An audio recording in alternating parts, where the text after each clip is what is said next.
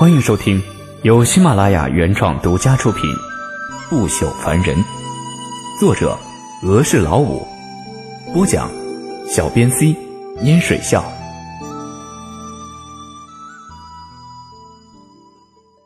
第一千一百五十五章，带我去傲视神角。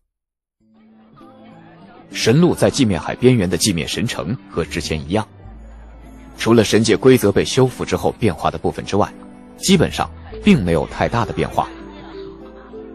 一回到神路，莫无忌就带着季离来到了寂灭神城。他仍旧没有返回涅槃学宫，对他来说，前往藏神谷才是更重要的事情。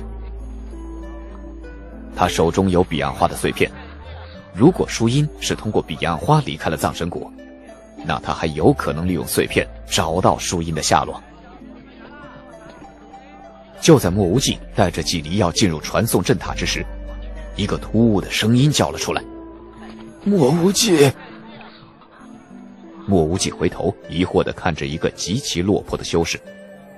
这名修士只有天神之境，而且他满头白发，看起来就十分的沧桑。他在传送塔的外头的一个角落摆了一个小摊，小摊上只有一些零碎的法宝残片。法宝残片的等级显然不高，最好的一块法宝残片也不过是来自中品神器。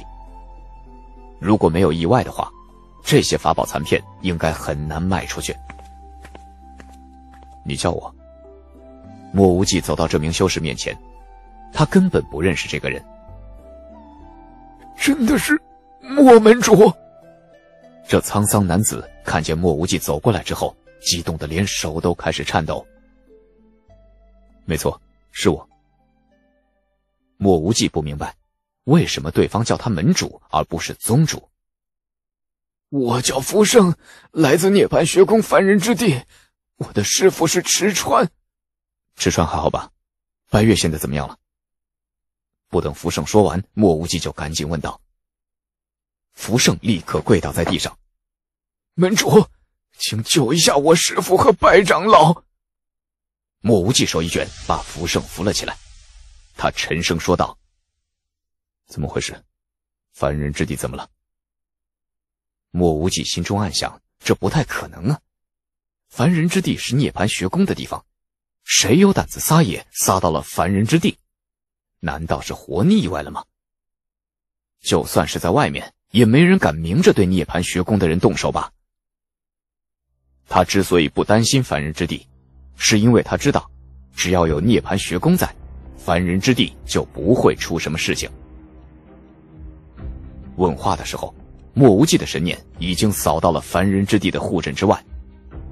随即，莫无忌就发现涅槃学宫的护阵居然升级了，至少他的神念无法随意撕开涅槃学宫的护阵。这让莫无忌有些疑惑，以他现在的实力。神念却渗透不到涅槃学宫的护阵里，唯一的解释就是，涅槃学宫的护阵至少是个准圣级别的强者布置，而且阵道水平至少也达到了九级神阵的境界。据他所知，涅槃学宫阵道最强者是苍正行，苍正行很可能跨入准圣之境了。苍正行突破到准圣也是正常的事情，但是短短时间内。苍正行是如何跨入九级神阵地的行列呢？无论如何，石川出事情，他必须回去一趟。福胜才刚刚想开口，一个急匆匆的身影就冲了过来，他一张手就抓向了拦在传送塔门口的莫无忌。莫无忌根本不等对方碰到他，一脚直接踹了出去。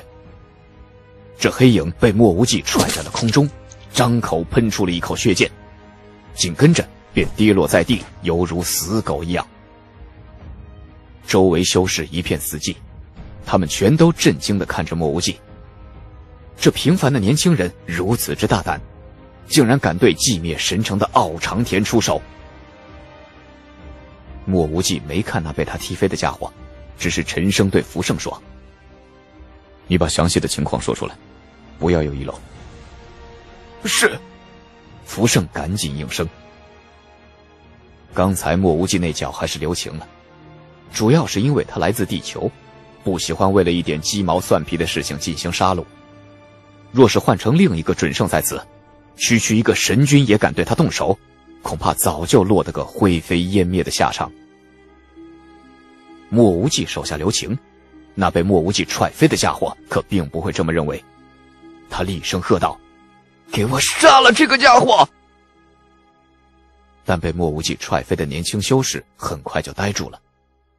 他的几个跟班现在一个都不见了，也就是说，这些家伙很可能认识面前此人，他们根本不敢现身。我知道了，那是莫无忌出身凡人之地。修士行馆的馆主，听说就是死在他手里。这种强者，你说一般的人哪个敢随便得罪啊？哼，奥长田是一般人吗？奥氏最近接连出了两个准圣，涅槃学宫都是奥氏掌控了。修士行馆的馆主再强，也不过就个河神出气，能和奥氏比吗？围观的人开始议论，莫无忌也被人在第一时间认了出来。门主，此人叫奥长田，奥氏的人。我师父池川也是被奥氏带走。站在莫无忌身边的福胜赶紧说道：“傲氏。”莫无忌忽然想了起来，他问了一句：“是当年凌霄神城的那个傲氏吗？”凌霄神城的傲氏只是傲氏一个分支，真正的傲氏现在已经建立了一个傲氏神教。在神界规则恢复之后，听说出现了两名准圣强者，我师父池川就是被这个傲氏带走。事情出来之后，拜长老急着寻找到了涅槃学宫的主公，但却被以莫名其妙的理由关押。凡人之地剩下的弟子逃的逃，散的散，我也是躲在这儿一直等候着门主。哼，福生，据我所知，你修炼的根本不是池川的功法。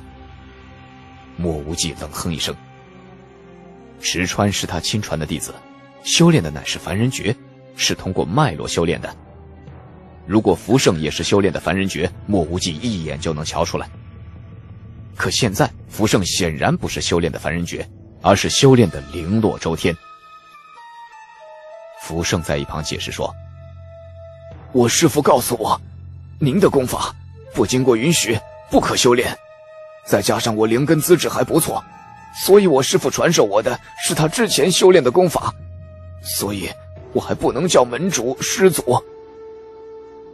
莫无忌点了点头，凡人诀的确如此，没有他来开辟脉络，他的凡人诀是修炼不成的。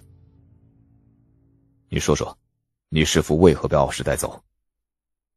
莫无忌的心中已经浮现出了一丝杀机。当年傲世在凌霄神城威胁他，如果不是赤坤和涅槃学宫的一个神王，他恐怕早就死在了傲世手里。之后他一直忙于各种事情，也没机会去找回场子。现在还没等他去寻仇，这傲氏倒是先找到他头上来了。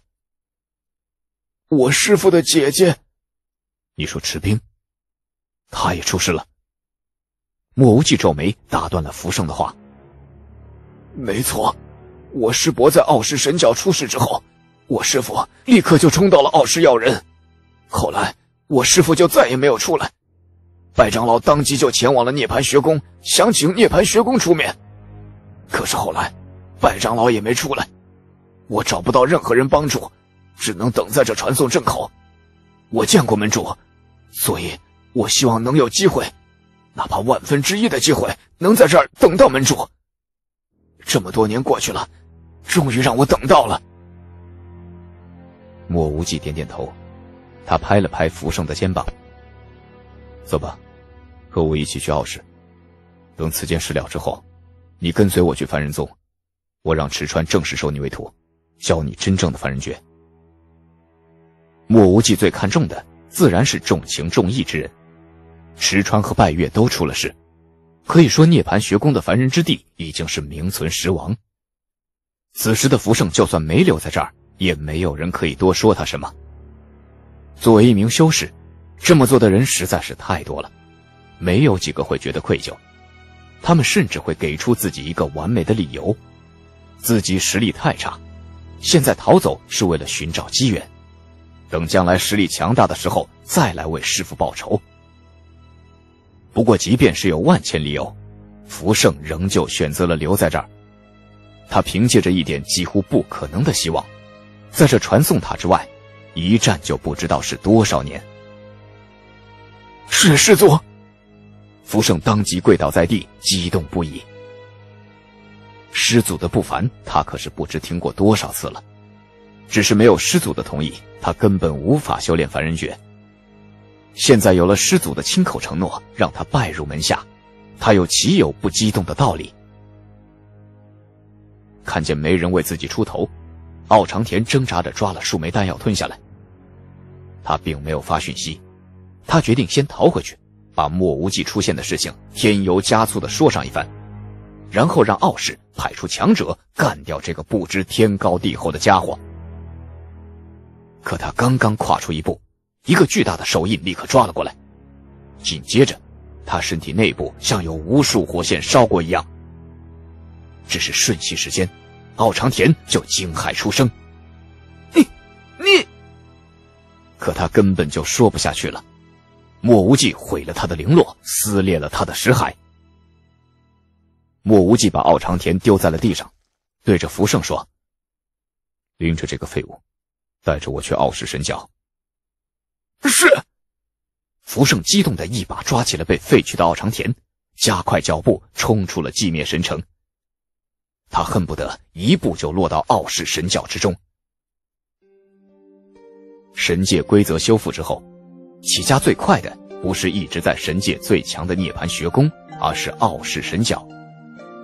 傲视神教在神路的两次机缘之中均有巨大收获。两名强者跨入了准圣之列。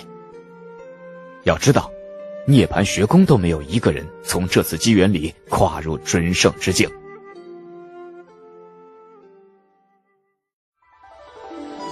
不朽凡人本集播讲完毕，欢迎继续收听由小编 C 和捏水笑为您播讲的《不朽凡人》下一集。